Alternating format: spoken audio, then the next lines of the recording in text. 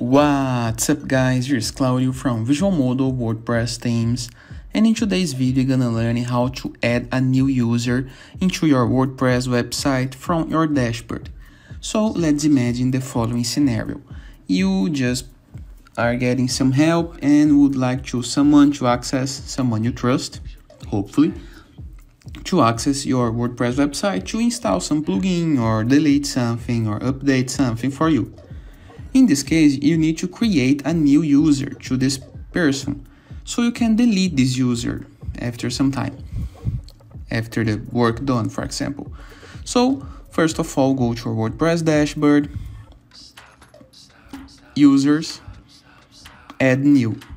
Of course, you can add a contributor to your blog, some author to write content, or editor to review some pages.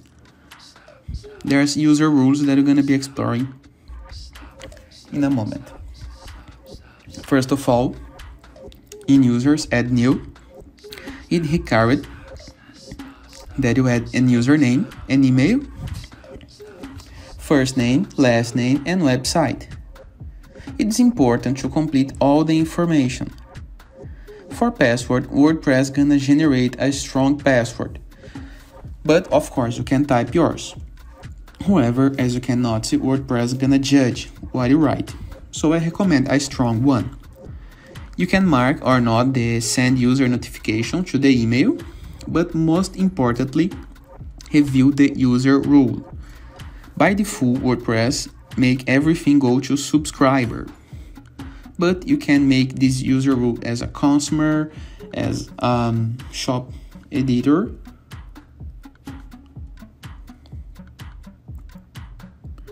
a shop manager, customer, subscriber, contributor, author, and editor. But if you want someone to do things on your site and have power to delete, update, or even create new users, you're gonna use add the role administrator, the user admin. Once it's my case, it's not my case, I'm gonna set everything as uh, simple customer. Of course, users can create accounts or subscribe according to the page that you have. For example, the WooCommerce account page has an option to register as a customer, of course. But this is in the case that you want to do it from your dashboard. So you can choose the rule.